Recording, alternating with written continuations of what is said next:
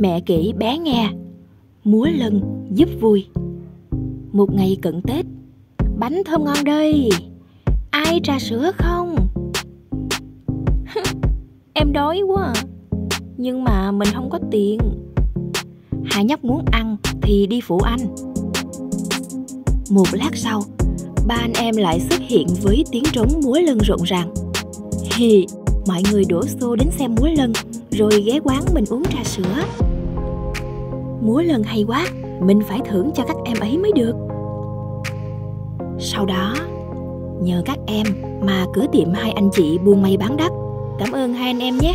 Mấy đứa ăn bánh, uống trà sữa này.